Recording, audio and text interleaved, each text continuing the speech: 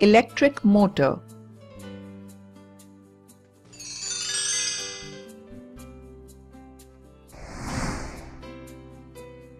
The motor or an electric motor is a device that has brought about one of the biggest advancements in the field of engineering and technology ever since the invention of electricity. A motor is nothing but an electromechanical device that converts electrical energy to mechanical energy.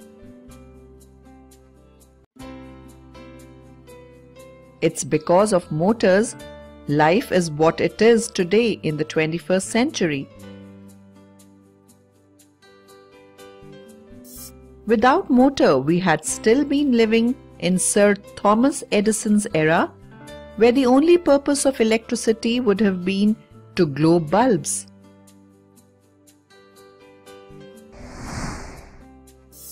Electrical motors are everywhere around us. Almost all the electromechanical movements we see around us are caused either by an AC or a DC motor.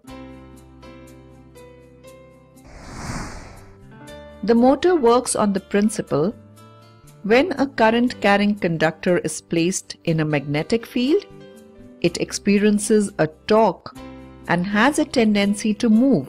This is known as motoring action. If the direction of electric current in the wire is reversed, the direction of rotation also reverses.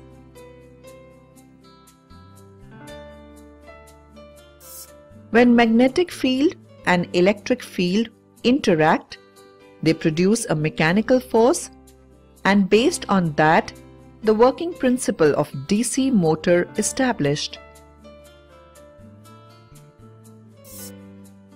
The direction of rotation of this motor is given by Fleming's left hand rule, which states that if the index finger, middle finger, and thumb of your left hand are extended mutually perpendicular to each other, and if the index finger represents the direction of magnetic field, middle finger indicates the direction of electric current, then the thumb represents the direction in which force is experienced by the shaft of the motor.